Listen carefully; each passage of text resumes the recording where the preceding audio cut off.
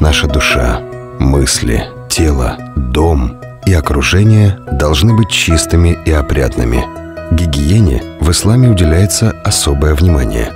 А в связи с пандемией коронавируса к обязательным процедурам теперь прибавилась дезинфекция рук антисептиком. Перед намазом совершается омовение – Использование антисептика перед намазом и после него никак не сказывается на чистоте омовения. Наоборот, помогает избежать заражения, потому что медицинский спирт не считается нечистотой наджаса. Задумайтесь о близких и окружающих.